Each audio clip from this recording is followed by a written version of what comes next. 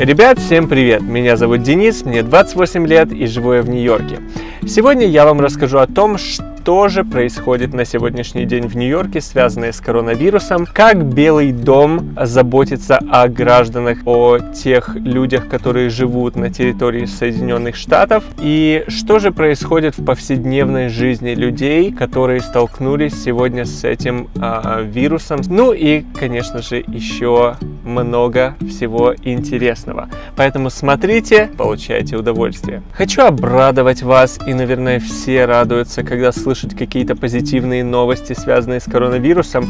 Это то, что цифры показывают спад в распространении вируса по Соединенным Штатам и по Нью-Йорку в том числе. Спад, конечно же, не только распространение, то есть новых кейсов, но и также спад в смертности населения в связи с вот этим вот вирусом.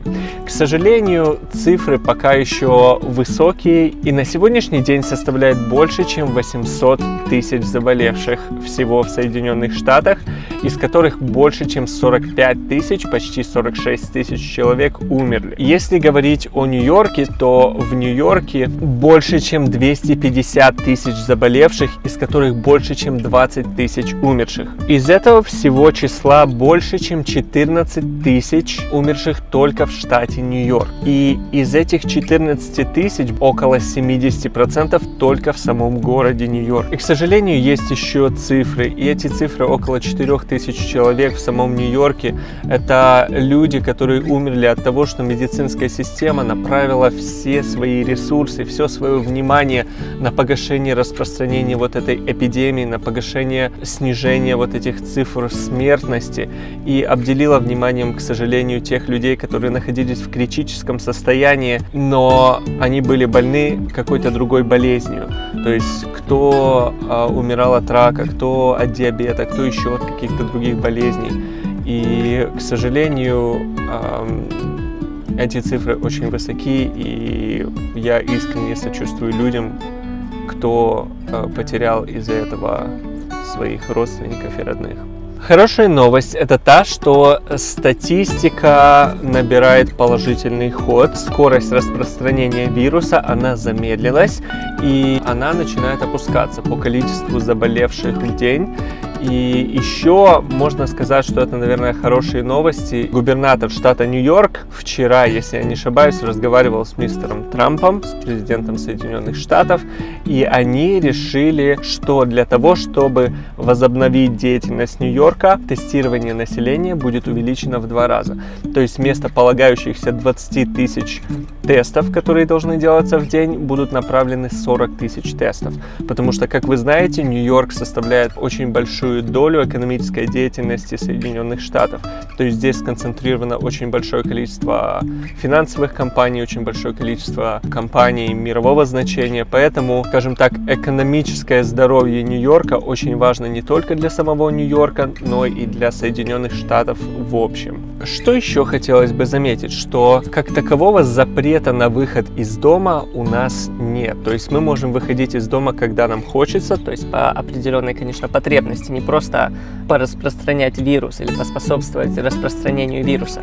А если, например, нам нужно выйти подышать свежим воздухом или выйти в магазин или погулять с детками или выгулять животное, то никто из полицейских, как говорят э, в СМИ, не ходит за тобой, не контролирует, куда ты идешь, не проверяет, есть ли у тебя какая-то бумага. Ваши документы, пожалуйста. Что тебе нужно идти в магазин или в аптеку или еще куда-то. Люди сознательно выполняют вот эти вот рекомендации и правила, которые исходят от э, государства. И если так прогуляться по улице и посмотреть, сколько людей гуляет, то на самом деле не так уж и много людей вы насчитаете. Э, если посмотреть, например, на парки большие, то да, в парках гуляет много людей. В большинстве своем люди больше бегают, выходят на пробежку в парк, потому что свежий воздух, потому что э, меньше возможности заразиться. Что самое интересное, людей на улицах нет. Если вы, например, проедетесь по Манхэттену, людей, ну, вы сосчитаете по пальцам, но машин на дорогах стало очень много. То есть даже вчера я простоял, когда я ехал из Манхэттена в Бруклин, это был как бы по идее вечерний час пик, это было 5 или 6 часов вечера, и я попал в пробку на Бруклинском мосту. Я был очень сильно удивлен, и я так себе подумал, если сейчас, когда машин в принципе не так много, наверное, не знаю, 20% машин от всех, которые обычно находились в Нью-Йорке, то что же будет тогда, когда все машины вернутся э, к своей обычной деятельности, то есть когда закончится вся эта пандемия, что же будет с Нью-Йорком и что за сумасшедшие пробки и по какому количеству баллов можно будет судить об этих пробках, я даже не знаю, наверное, миллион баллов. Если вы выходите в магазин, то да, в магазинах все еще есть очереди, потому что люди соблюдают все же вот это вот social distancing или социальную дистанцию вот эту 2 метра или 6 фит по американским э, меркам. И плюс к тому же магазины регулируют, сколько человек могут находиться в магазине в одно и то же время. То есть, насколько я знаю, в магазине, где мы были, мы были а, в магазине Whole Foods в пятницу, буквально перед Пасхой.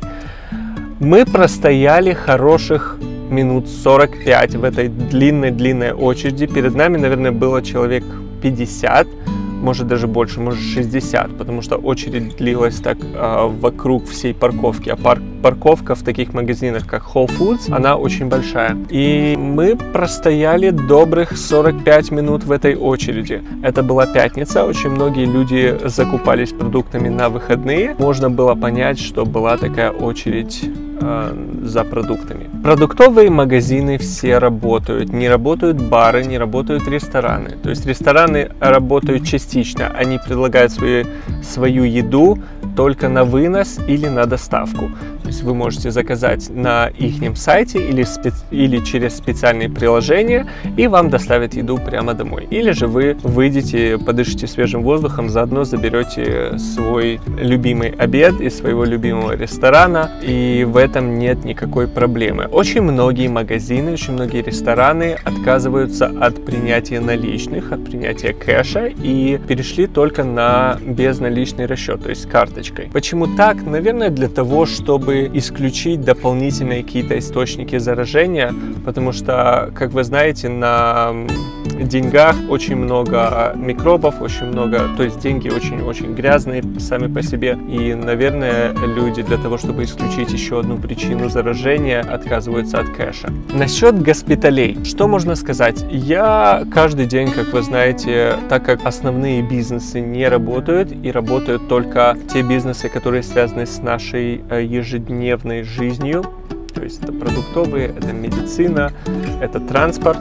Я в основном вожу, особенно в утреннее время и вечернее время, работников госпиталей. И от них даже сегодня я вот вез нескольких человек, и они сказали, что, к счастью, вот это вот количество, которое было сумасшедшее, новых госпитализирующихся людей каждый день, оно идет на спад. И, э, кстати, я вез людей, которые не из самого Нью-Йорка, которых, скажем так, направили из других штатов, добровольно, скажем так, направили из других штатов. Я вез людей из Техаса, то есть это самый юг Соединенных Штатов. Я вез людей из Аризоны, я вез людей из Северной Каролины. И они сказали, что скорее всего они будут уезжать намного быстрее, чем они думали, потому что вся вот эта вот, весь разгар вот этой эпидемии в Нью-Йорке, он идет на спад. И уже местные работники, сами нью-йоркцы будут справляться с коронавирусом. Как я понимаю, э, потребность в медицинских масках и в перчатках, она уходит чуть-чуть на нет, потому что начинают поступать уже продукция из Китая, из других стран как помощь. Единственное, что я знаю, потребность госпиталей в вентиляторах легких, она очень-очень сильная, потому что если количество тех людей, которым нужна вентиляция легких, останется таким же, как оно есть на сегодняшний день, то на данный момент вентиляторов легких хватит всего лишь на одну неделю. То есть после этой недели вентиляторы легких закончатся, и врачам нужно будет выбирать, кому давать вентиляторы, а кому не давать вентиляторы. То есть им нужно будет решать судьбы, так сказать, заболевших, что очень-очень неприятно и очень-очень на самом деле меня удивляет, потому что я всегда думал, что медицинская система Соединенных Штатов, она устроена так, что они готовы практически к любой ситуации. но я, наверное, заблуждался чуть-чуть, потому что, как показывает наша практика на сегодняшний день, то ни одна страна в мире не была готова к вот таким вот последствиям вируса, которые захватили, грубо говоря, весь мир за, не знаю, за месяц, за два месяца. То есть это это страшно. А сейчас новость для тех, кто любит обсуждать Америку как одну из тех стран, которая любит плевать на своих граждан, которые не беспокоятся ни о чем, кроме как о деньгах, и им на людей полностью наплевать. Я хочу вам сказать, передать большой привет и сказать о том, что сейчас уже принялся закон о том, чтобы людям выдавать по 1200 долларов. И он принялся не сегодня, он принялся ранее. И уже на прошлой неделе я вез людей, которые уже получили по 1200 долларов на человека. И для тех, у кого какие-то проблемы с банковским счетом, IRS, потому что эти деньги идут от налоговой системы, которая называется IRS, выписывает чеки и высылает на почту. То есть вы получаете чек на 1200 долларов на каждого человека в семье, на каждого взрослого человека в семье и по 500 долларов на каждого ребенка. То есть в нашем случае, если у нас двое взрослых и двое детей, то мы получим 3400 долларов. Что я вам скажу, это достаточно хорошая помощь, учитывая то, что эти деньги, чтобы заработать и отложить эти деньги, э, мне нужно было бы работать больше, чем полмесяца. А далее у них возникла такая идея, и они сейчас э, об этом думают, чтобы каждому человеку давать по 2000 долларов каждый месяц. если вот эта вот вся пандемия затянется на долго, если Сейчас действует ограничение до 15 мая. То есть если до 15 мая мы не увидим никакой спад распространения, никакой спад, спад в смертности, то они, скорее всего, подпишут эти документы на то, чтобы выдавать каждому человеку по 2000 долларов, что в свою очередь будет покрывать аренду жилья или кредит на дом или кредит на машину. То есть людям будет намного проще выживать в этих условиях. Плюс, ребят, на эти деньги можно покупать еды сколько хочешь, потому что еда здесь вообще не стоит а, в каком-то приоритете, я бы даже сказал, или в каком-то дефиците, потому что, ну, я не знаю, как можно умереть с голода в США. Я слышу очень много комментариев по этому поводу, что американцы будут умирать с голода. Американцы никогда не будут умирать с голода. Я хочу это заявить на целый мир, что с чего, с чего, но точно не от голода. Сколько здесь есть еды, еда в избытке, к сожалению, или к счастью на данный момент, а что у Америки с едой никогда не будет проблем. Есть еще одно предложение, а, которое поступило на рассмотрение о том, чтобы перечислить по 25 тысяч долларов каждому из тех людей, кто является работником вот этих вот основных бизнесов, essential business workers. Я думаю, это тоже будет достаточно большая такая мотивация и поддержка для тех людей, кто сейчас составляет вот эту вот переднюю линию кто напрямую контактирует с людьми, которые заразились коронавирусом, и которые даже не взирая на то, что они могут заразиться, и что это грозит их жизни, они все равно пытаются как-то поучаствовать в борьбе с этим вирусом, пытаются как-то изменить ситуацию в лучшую сторону. И я искренне э, говорю всем людям, кто сейчас работает, кто сейчас работает в медицинской сфере, в транспорте и во всех бизнесах, которые сейчас все еще остаются в работе, я вам хочу сказать большое спасибо за то, что вы есть и за то, что вы помогаете людям существовать как можно комфортнее, как можно безопаснее. А, спасибо. Ну и что же, ребят, а, я думаю, на сегодняшний день достаточно э, новостей. Их э, выходит немного, и в основном они, к сожалению, связаны э, с треклятым вирусом. Но вы должны быть информированы, потому что это то, что сейчас тревожит весь мир.